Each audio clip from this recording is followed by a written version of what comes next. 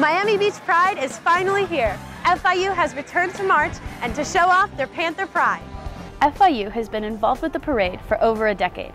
After two years of cancellations due to health concerns, the parade has returned and FIU is back to participate stronger than ever. Weather is perfect, the sky is blue, and we have wonderful people here. We have students, we have faculty, we have the community. It could not be any better than this. Before the parade, students arrived at the FIU Wolfsonian Museum where they were offered breakfast. Keynote speakers gave a short presentation to the students.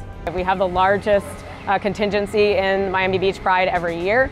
Uh, they usually actually cap people at 100 people, but they let us go up to 250 this year.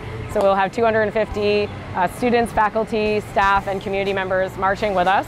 The Pride Student Union held a short ceremony to symbolize the transfer of power to their new executive board. It's not just a flag or a rainbow, it represents diversity, it represents inclusion, it represents that everyone matters, everyone has a purpose, and we should celebrate and embrace that day in and day out. Students and faculty lined up forming a rainbow to march down Ocean Drive.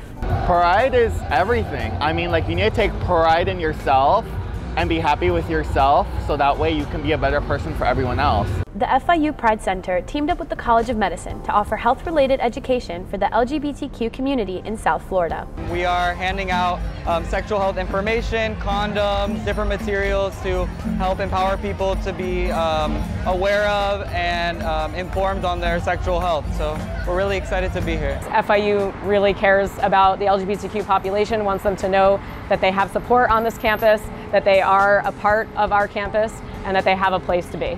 Students and faculty had a great time marching today. Stay proud, FIU.